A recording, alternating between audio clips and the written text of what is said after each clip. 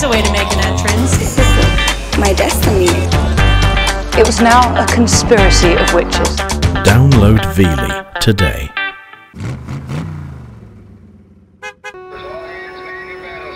July 1988. A US Navy cruiser is battling Iranian gunboats in the Persian Gulf. Suddenly, its radar picks up a mystery aircraft. Is this plane friend or foe? They have seven minutes to decide. As the aircraft draws ever closer, the pressure mounts. If you do not change course to 270 immediately... And the captain is faced with a terrible choice. Shoot it down or risk the lives of his own crew. Subject to United States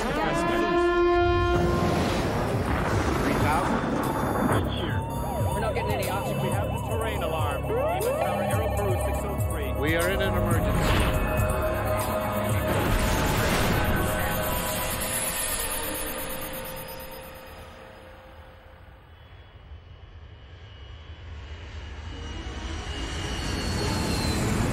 It's a routine short-haul flight, but an Iranian passenger jet is heading into mortal danger.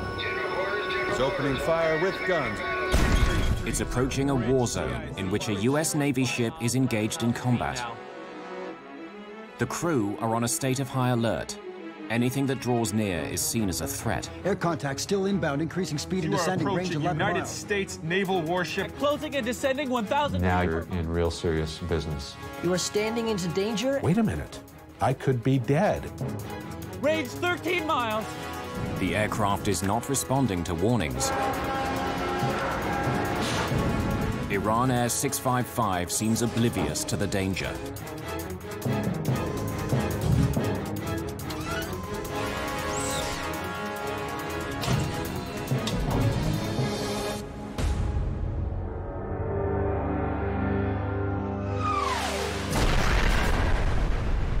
1988, Iran and Iraq have reached a stalemate in a savage eight-year conflict.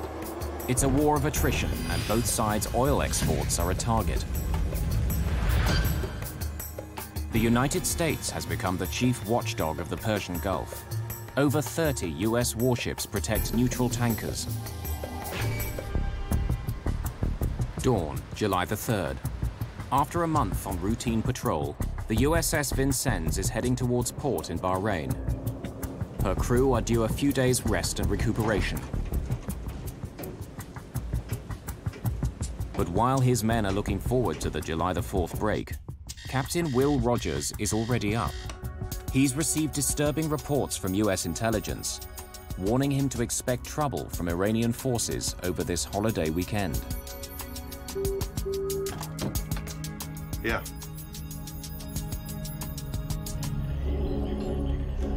In the Vincennes Combat Information Center, the watch officer has received an urgent message from another ship in the US fleet that Iranian gunboats are harassing a Pakistani merchant vessel.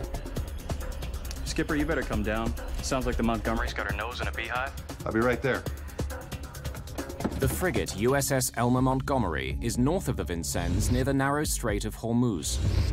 It's here that Iranian gunboats have been most active in attacking oil tankers as they exit the Persian Gulf. Designed to protect an aircraft carrier group, the Vincennes is a billion-dollar Aegis cruiser. It's armed with Mark 26 missile launchers, Harpoon anti-ship missiles, two 5-inch guns, and the Phalanx close-in weapons system which fires over 3,000 rounds a minute. But what makes the ship so special is its high-tech radar. The phased array SPY-1 can simultaneously search and track over 100 targets over 300 kilometers away.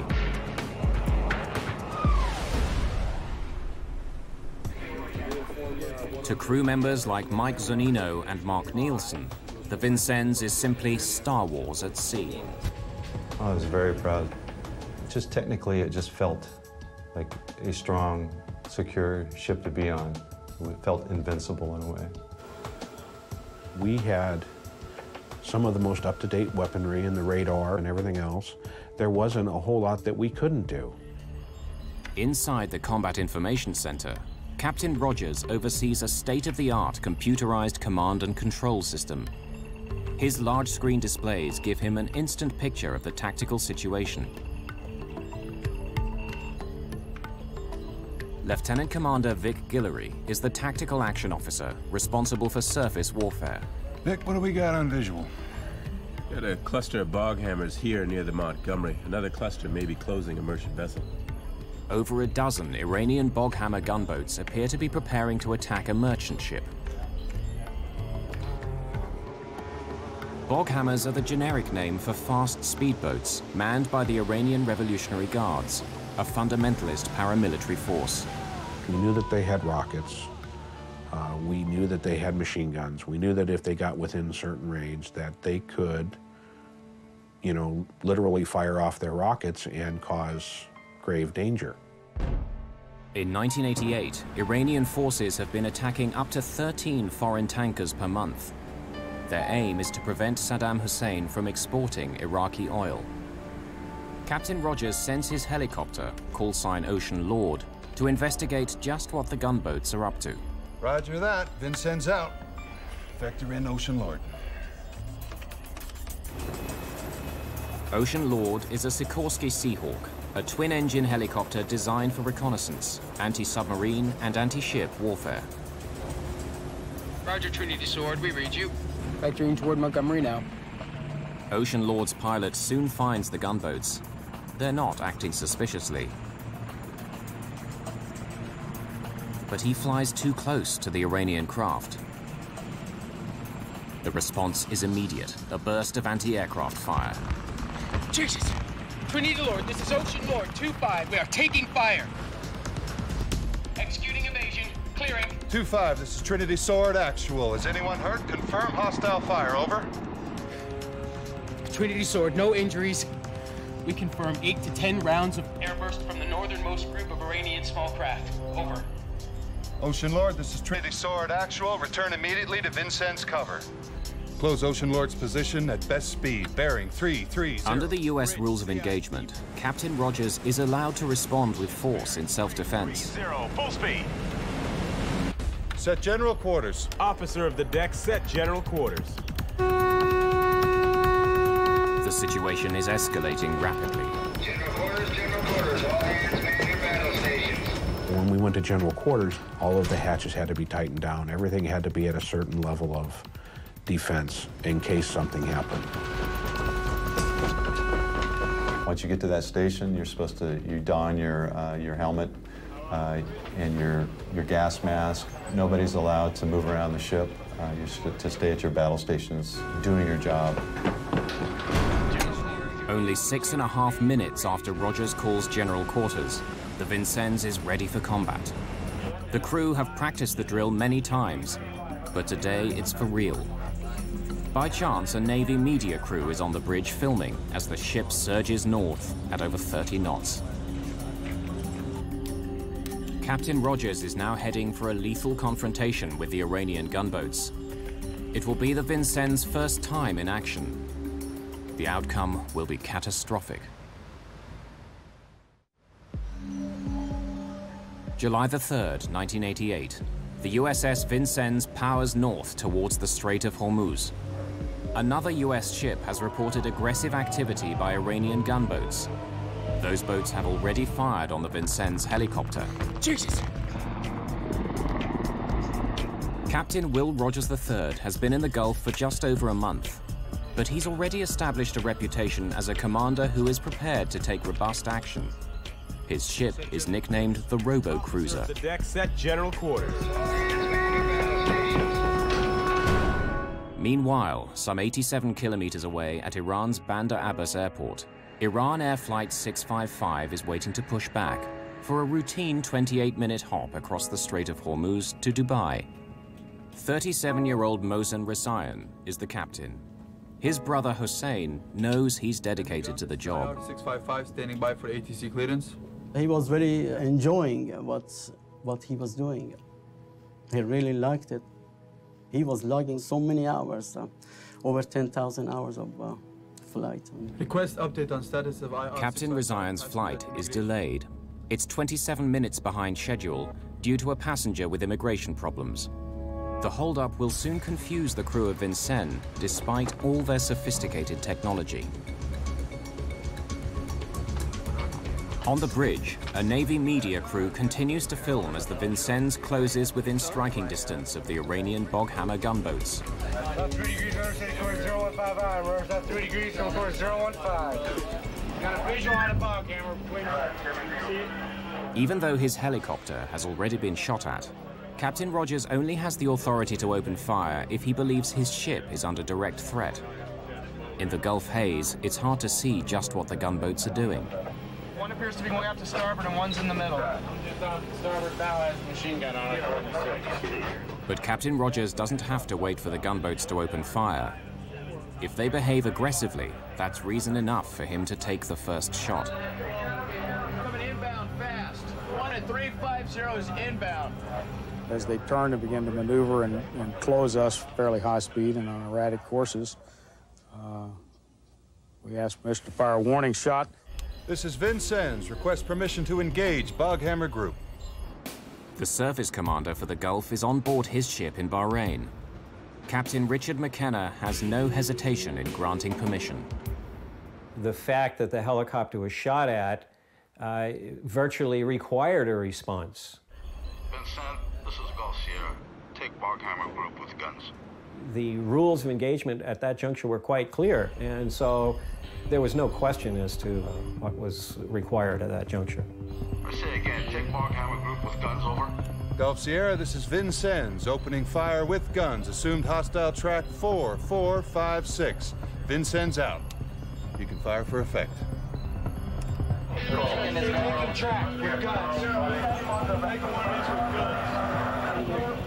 It's 9.43 a.m. A routine encounter in the Persian Gulf has become deadly serious. The ship shakes. Um, it's a five-inch gun. I mean, it's it's there's a lot of powder behind it to to propel that projectile. Oh man, he's right behind him.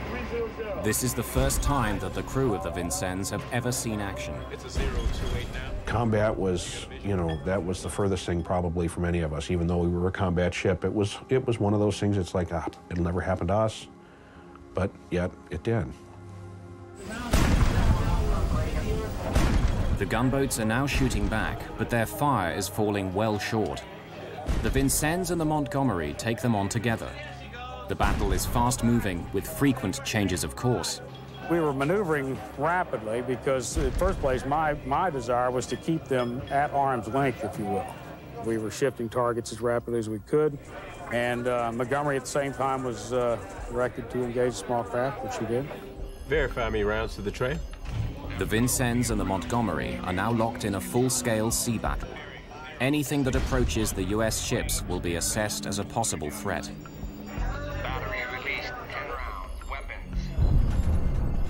Lieutenant Commander Scott Lustig is the officer responsible for alerting the captain to potential airborne threats. He's been tracking an aircraft that has suddenly changed course and is now heading towards the Vincennes. 472, Iranian P-3, range 62 miles. The plane has been identified as an Iranian P-3 Orion, a long-range maritime surveillance aircraft. In a well-rehearsed procedure, the Vincennes warns the P-3 on a military frequency that he's being tracked. 270, this is United States Naval Warship. Request you state your intentions.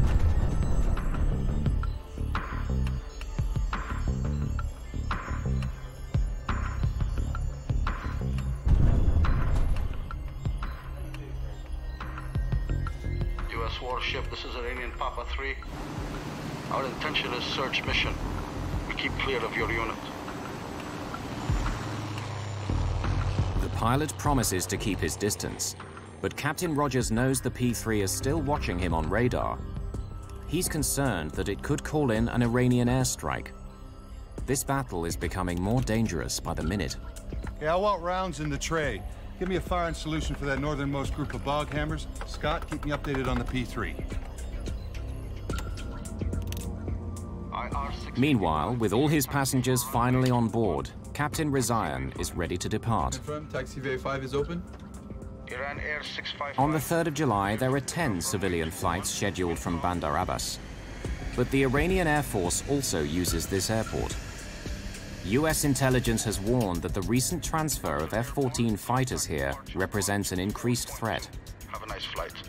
655 cleared for takeoff. Captain Rezaian has no way of knowing that Iran Air 655 is heading directly towards a raging sea battle. Within seconds of liftoff, the Vincennes detects Flight 655. Sophisticated as the radar is, it cannot determine the size or type of aircraft. Identification Supervisor Anderson begins a routine to establish whether the aircraft is a friend or foe. His first step is to use a system called IFF. All large aircraft have IFF. They all have identification friend or foe. Every aircraft has its own code, and you're able to look up that code and say, okay, it does give you more information. Anderson sets out to identify the IFF signal of this incoming track. At the press of a button, an electronic pulse radiates into the atmosphere. And aircraft transponders automatically bounce back an electronic reply, squawking the signature modes and codes that reveal whether the aircraft is a friend or foe. Modes 1, 2, and 4 indicate military aircraft.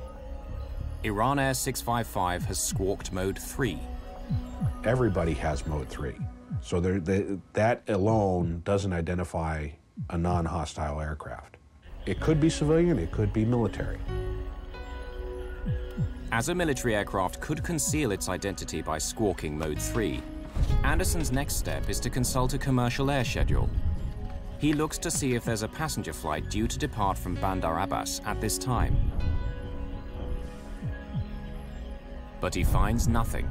Unidentified Iranian aircraft on course 203, speed 303 knots, altitude 4,000 feet. This is United States. So the Vincennes now tries to contact the plane directly on a military distress frequency. 40 miles from you. You are approaching United States naval warship in international waters. Request you state your intentions. Over.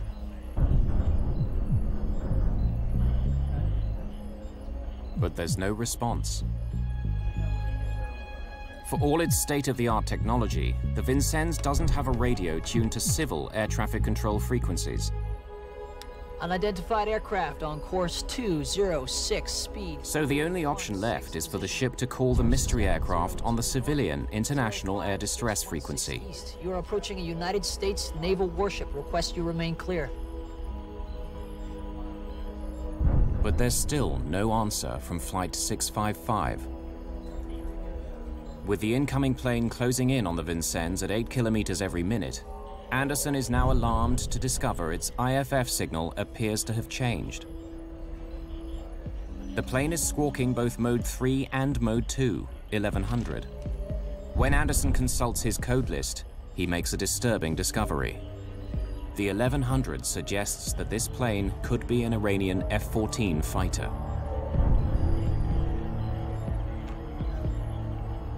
All stations IDS, I have a possible mode 2 on track 4131, 1100, which breaks as an F-14. Possible mode 2. Breaking as an F-14. I repeat, incoming mode 2. Anderson's words spread like wildfire throughout the CIC. The aircraft is now labeled as an F-14 fighter on the tactical displays in front of Captain Rogers. 48 kilometers away, the Airbus, with its 290 passengers, climbs out over the Persian Gulf. They have no idea that they've been misidentified and are flying into danger. An Iranian passenger jet heading for Dubai is unknowingly flying directly towards a US warship engaged in battle in the Strait of Hormuz.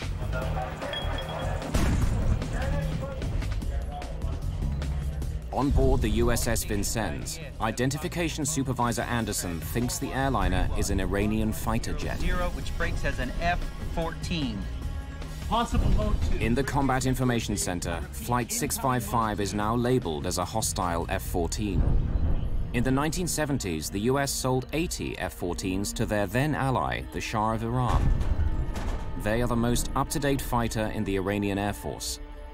The Vincennes crew think they're under attack. My heartbeat was way up, my blood pressure was way up. It was like, wow. I mean, the adrenaline was just flowing. Lieutenant Commander Scott Lustig is Captain William Rogers' anti-air warfare coordinator. With the incoming plane only 45 kilometers away, he seeks permission from headquarters to shoot it down if it comes too close. My close. position, my intention is to engage at 20 nautical miles if he does not turn away. Do you concur? Over. You start crossing 20 miles, and it's an absolute threat to the ship. You're out there in the middle of the ocean. Uh, it's that it's serious business. The pressure on Captain Rogers is mounting. But at this critical moment, just when he should be focusing on this new threat, his attention is drawn back to the battle with the gunboats. We've got a foul bore down here. Captain, we have a situation with Mount 51.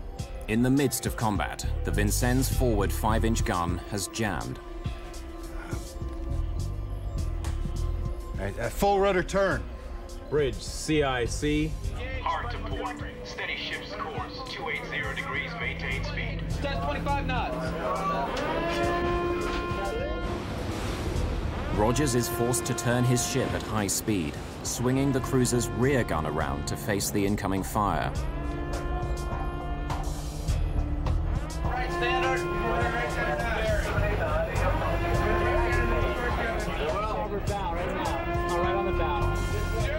The ship leans, so uh, if anything was not tied down, it of course went everywhere. It went sliding off up against the wall. It turned sharp enough that if you were standing, you had to hold on to something to keep from falling over. Bring F gun to bear now.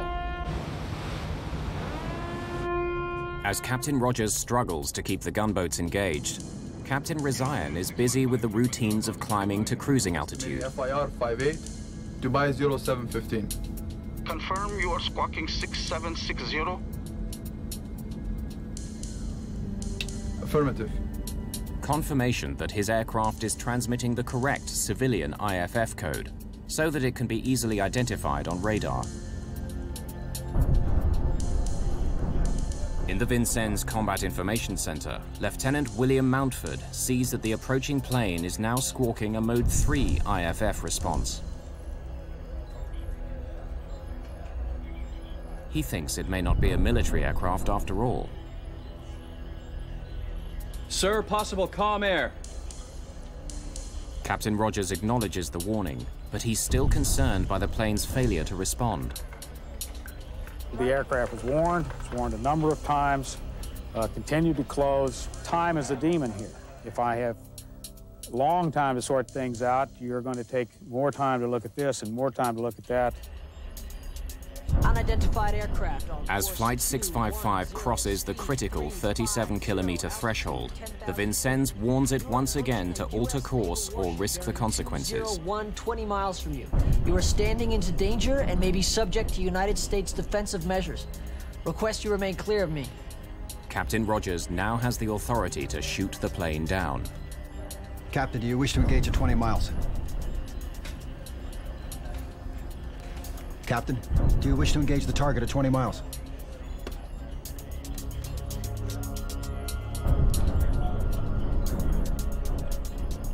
I had difficulty at 20 miles. I just did not want to shoot. I could not believe that this was really happening to us.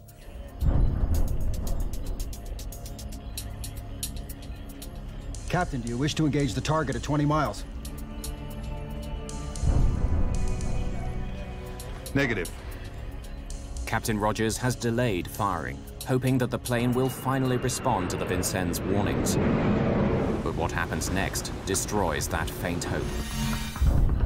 Petty Officer Leach is the Vincennes Tactical Information Coordinator. He's responsible for ensuring that all air contacts are properly tracked. What he reports now seems to remove any doubts. This is a hostile aircraft. Altitude declining. They see the plane diving towards them, a classic attack profile. Now you're you're in real serious business because anything can happen at that point. Um, whether that aircraft might launch something at you. It could be the aircraft itself. 15 miles, that's pretty, pretty close and pretty serious. Iranian aircraft on course 211, speed Track 4131 approaching 13 nautical miles. States naval warship operating in international waters. Wait a minute. I could be dead. The tension is just continually rising uh, during this whole time.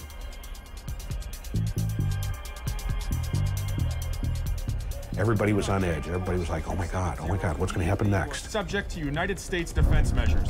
Inbound air contact, closing and descending 1,000 feet per mile. Range 13 miles. Oh my God, it's getting closer. It's getting closer. What's the captain going to do? What's going to happen? You know, what are they going to do? Iran Air 655 now signs off with Bandar Abbas Air Traffic Control. Point four. Have a nice flight. Thank you. Good day.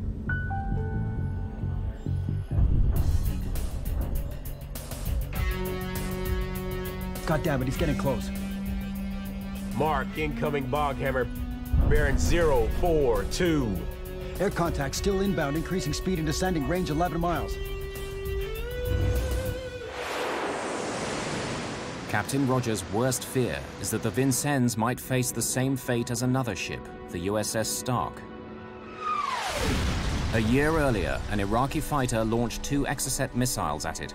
37 sailors were killed, and the ship nearly lost. An inquiry blamed the incident on failures in command. The Stark had not defended itself. Its captain was reprimanded and allowed to resign from the Navy. Captain. Air contact still inbound, increasing speed and descending, range 11 miles. Captain Rogers isn't about to make the same mistake. Time is a demon here. At some point in time, you have to make the decision. When the aircraft reached uh, a little over 10 miles, at that point in time, I either make the decision then or I don't make it at all because I reached minimum weapons range. It's the moment of truth. Captain Rogers turns his fire authorization key.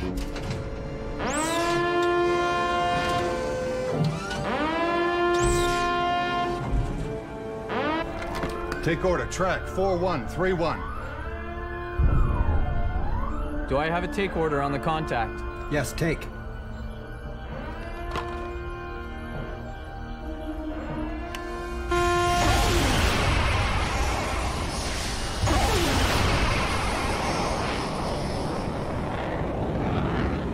Birds away.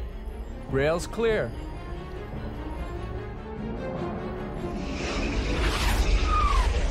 Iranian aircraft on course 209, speed 353 knots. As the final warning goes out on the military air distress frequency, Rogers keeps his finger on the hold fire button so he can destroy the missiles if the aircraft finally responds.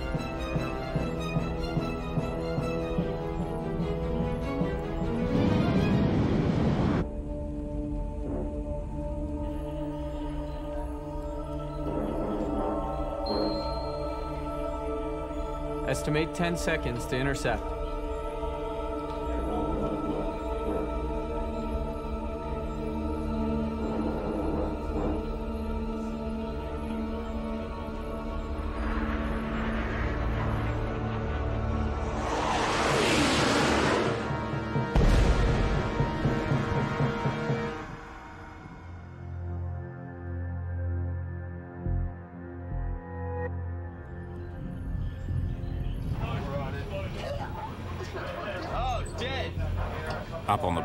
The crew has confirmed the kill.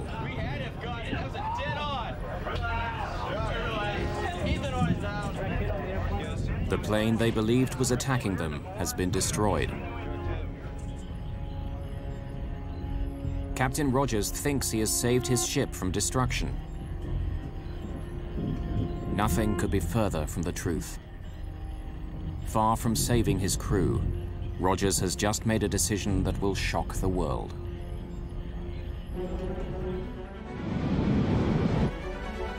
God damn it, he's getting close. At the height of a naval battle with Iranian gunboats in the Persian Gulf, The USS Vincennes has detected an incoming aircraft. Take order, track 4-1. In the ship's combat information center, that plane has been misidentified as an Iranian F-14 fighter. After the plane has failed to respond to warnings, Captain William Rogers has shot it down.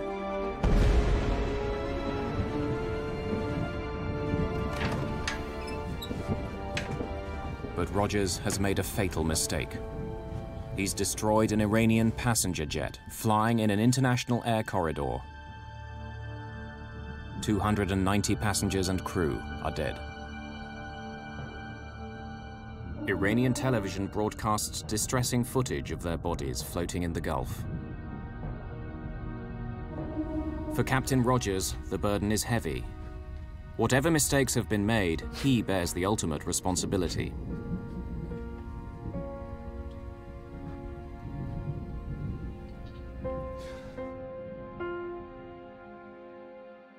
But for the victims' families, it's worse. Captain Rezaian's elder brother Hossein tries to identify his remains in a temporary mortuary in Bandar Abbas. I try not to uh, imagine where I went to. I try to forget it. And uh, when I uh, look at those bodies, I just um, I just can't control myself, and I just try to uh, to think about something else, not uh, not to think of what I saw. Captain Rezaian's body is never recovered. Really, I shattered our family, especially his kids, uh, his wife, my parents, which uh, they're still living, and and uh, there is not a day that they don't talk about this, uh, of what happened, uh, why it should have happened. uh. There's an immediate international outcry. The world wants to know how a cruiser with a state-of-the-art combat system could have mistaken a passenger airliner for an attacking Iranian fighter. Captain, do you swear that the evidence you are giving in this matter, now an investigation... The US government appoints Rear Admiral William Fogarty to conduct an inquiry to find out what went wrong. My first reaction was it was a tragedy. The thing that stuck the most to me was you've got some a lot of responsibilities ahead of you, Fogarty, and probably some sleepless The whole nights. and nothing but the truth, so help you God. I do. The inquiry is conducted in accord with the Uniform Code of Military Justice. The stakes are high. Investigative journalist Roger Charles is a former Marine officer who's examined the story. You're looking at a guy who's on top of the world. He's the captain of the billion dollar Aegis uh, cruiser. And now he's sitting at a table facing uh, possible court martial and, uh, you know, even prison time. Admiral Fogarty's team now scrutinizes the actions of the Vincennes crew in forensic detail. When Flight 655 first appears on radar, the USS Vincennes is in the midst of a battle with Iranian gunboats. All aircraft within a radius of 100 kilometers are monitored to ensure they do not pose a threat. So Identification Supervisor Anderson starts by checking his commercial air schedule to determine if this is a passenger flight. But he's confused. The schedule lists departures in local time, but Anderson is unsure whether that means the time in Bandar Abbas or Bahrain time, which is used on the ship. You have the almost 30 minute delay caused by the late departure of IRR 655 due to a passenger with a visa problem. Then you have the 30 minute different time zone. So he looks at it and he's seeing there's nobody within an hour scheduled to be over us. The IFF system is supposed to distinguish friend from foe. Admiral Fogarty knows it's critical to establish how the Vincennes could have confused a commercial airliner squawking Mode 3 with a fighter emitting Mode 2. And in your mind, that was not calm Comair. In my mind, sir, it was not a calm Comair. And why? Because I had saw that Mode 2 squawk, sir. The Mode 2 was the big indicator for you? Yes, sir. From intelligence, Fogarty discovers that as Flight 655 prepares for takeoff, an Iranian F-14 is also on the tarmac at Bandar Abbas. It now appears that although Anderson rolls his ball tab to hook Flight 655 as it takes off, he leaves it hooked for almost 90 seconds. So although the hook symbol moves towards the Vincennes, the system is still reading IFF signals from the airport at Bandar Abbas. It's a human error caused by poor design on this high-tech warship. He left the ball tab on Bandar Abbas. So what we believe happened, and I'm pretty sure this is exactly what happened, he picked up the mode 2 of the Iranian fighter that was getting ready for takeoff behind the Airbus. The identification of an F-14 appears to confirm intelligence, warning Captain Rogers to anticipate trouble over the July the 4th weekend. He now believes the aircraft is part of a coordinated strike on the Vincennes from both sea and air.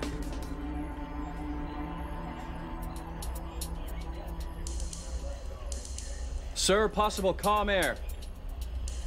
So he places less weight on the warning that the incoming plane is possibly a commercial airliner. Do you recall Lieutenant Montford saying, COMAIR, calm air? I absolutely remember him telling me that. And I think I raised my hand or something to that effect to indicate that I'd heard him. You held up your decision to fire. Yes, sir. Why? I wanted every bit of information I could get. IFF was an indicator, but I didn't care whether 1100 was an F-14 or that Fokker that flies around out there. But at, at this point, I thought they always talk to us. Iranian aircraft on course 211. The Vincennes transmits a total of 10 radio warnings. Why does Flight 655 never respond? What we do know for sure is the aircraft did not respond to the warnings. He had to have something, he being the commanding officer, as proof that this was commercial air. He never got that. Unidentified Iranian aircraft on course 20. But the Vincennes transmits seven warnings on a military frequency that Flight 655 cannot receive. The Airbus did not even have a radio that was set or could accept uh, the military air distress uh, frequency. I mean, it's just not something they had. They had no need for it. They were a commercial airplane. The Vincennes broadcasts only three warnings on the civil distress frequency. But they don't clearly identify exactly who the ship is trying to contact. Unidentified aircraft on course 210, speed 350, altitude. The Vincennes radio talkers are citing the aircraft's ground speed. Bearing 201, 20 miles from you. You are standing into danger and may be subject to United States defensive measures. But Captain Rezaian's instruments show airspeed, a relative measurement. Flight 655's indicated airspeed could have been 50 knots slower than the 350 knot ground speed cited by the Vincennes. So if the pilot hears that, well, who are they talking to? They're not, they haven't identified us. They must be talking to maybe the P-3 or maybe some other Iranian aircraft.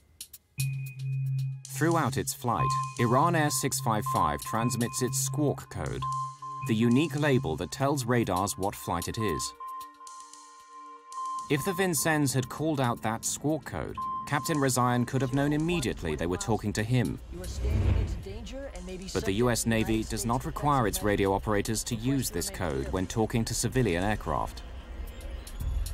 As Flight 655 nears his ship, Captain, do you wish to engage at 20 miles? The pressure on Captain Rogers becomes intense. Captain, do you wish to engage the target at 20 miles? When you look at the time window that he had, he waited till the very last minute. And it becomes a point of, uh, am I going to shoot or am I not going to shoot and wait, in which case he would not be following his responsibilities to protect his ship and his crew. The decisive factor in Captain Rogers' decision to fire are the reports he receives that the plane is descending towards him, apparently about to attack. Altitude declining. It's the crucial moment. The inquiry team presses Tactical Information Coordinator Leach on his call. Okay. Were you reporting descending elevations over the net? Over the internal net? Yes, sir. So, in other words, when you saw that track, that aircraft start descending, you were reporting that up to TAO, CO, Gulf Whiskey? Yes, sir. Like an aircraft's black box, the Vincennes computers have recorded all the data on the Combat Information Center's screens. Those records show that Iran Air 655 had never descended. It was, in fact, ascending the whole time. That was a revelation that uh, we, uh, we had not anticipated. Altitude declining. Is it possible? Is it possible that somebody, although the data showed perhaps that it was going up, would say it's going down, descending? Fogarty sends a medical team, including a psychiatrist, to the Vincennes. They report that a condition called scenario fulfillment could have played a part in the tragedy. Range 13 miles. And as it turns out, where you, you believe something so badly is going to happen, that whether the data shows you it's not the case, you believe it's happening.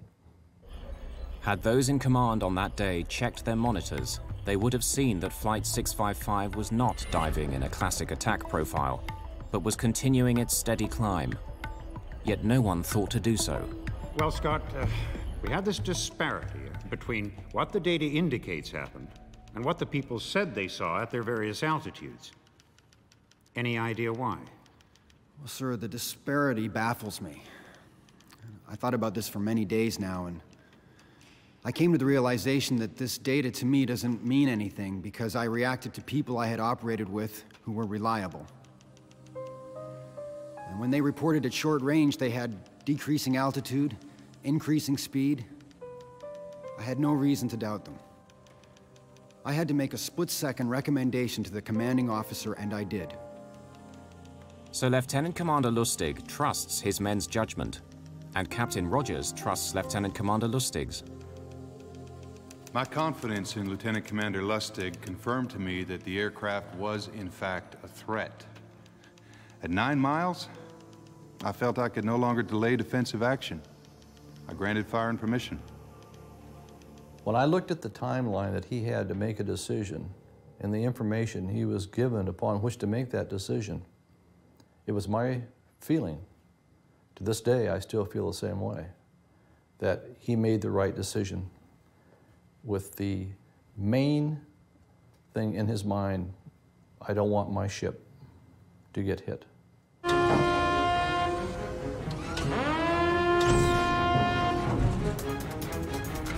Take order, track 4131.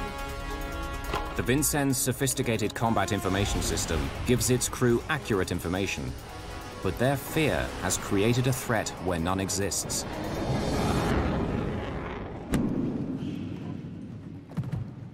After a month, Admiral Fogarty's investigation is over. He finds that the downing of Iran Air 655 was not the result of any negligent or culpable conduct by any U.S. naval personnel. Captain Rogers acted in a prudent manner, given the information available to him and the short time frame in which he had to make his critical decision. Fogarty says Iran must share the responsibility for hazarding one of their civilian airliners in close proximity to hostilities.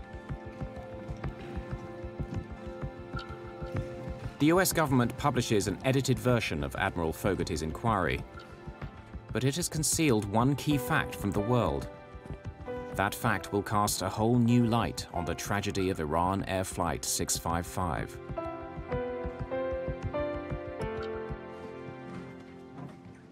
In August 1988, a detailed inquiry by Admiral William Fogarty into the shooting down of Iran Air 655 concludes that the captain and crew of the USS Vincennes acted properly in the face of what they believed was a threat to their ship.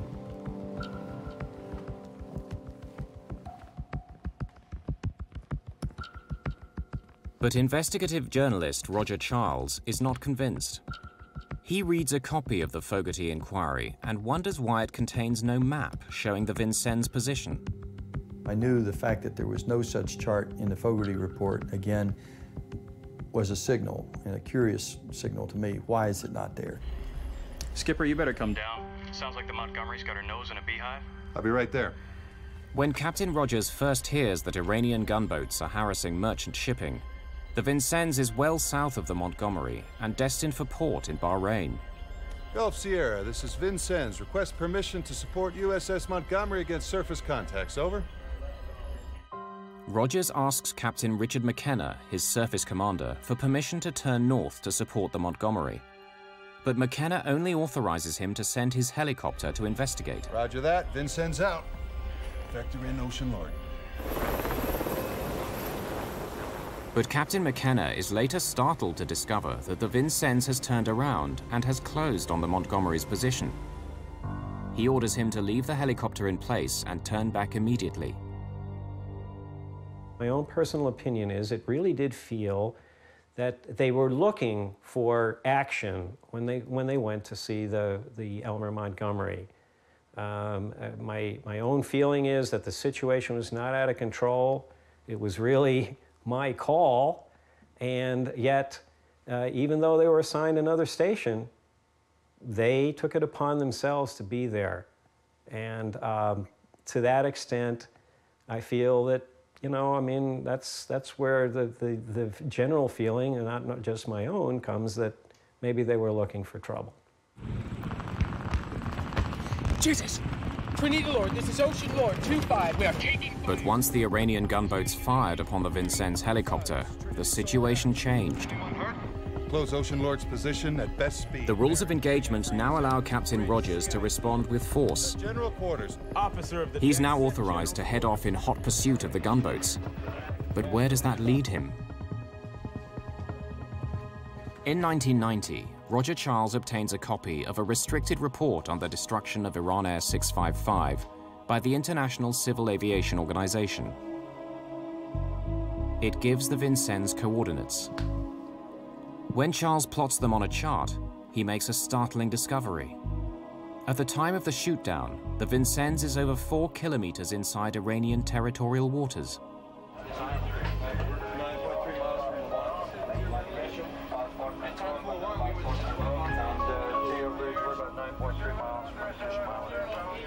By chasing the gunboats back into Iranian territory, Rogers inadvertently places his ship directly in the flight path of Iran Air 655.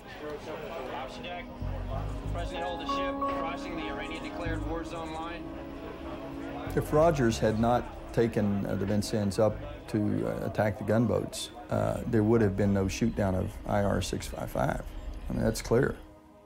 There would have been no ongoing surface action.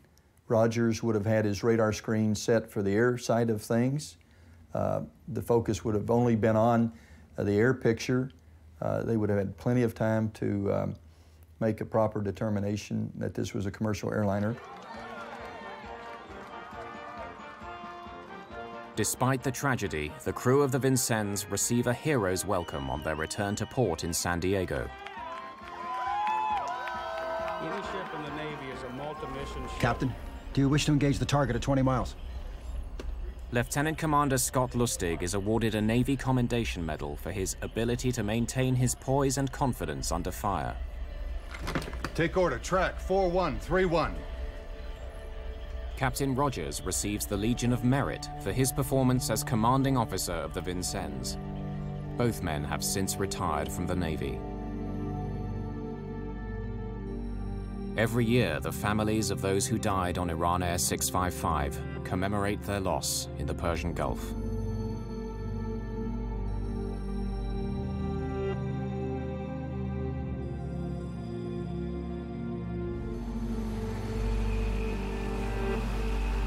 For Hussein Rezaian, the brother of Flight 655's captain, time has not healed the wounds. I still feel the same way. Although I try to keep myself busy, not to think about it, because still, uh, I mean, it's an unforgettable human tragedy. Even after 17 years passed, the horrors of uh, uh, what went on in that, uh, in that day, you know, still, uh, still lingers on in everybody's life. In a world where technology grows ever more sophisticated, fear, the most basic of human instincts, can create the greatest tragedies.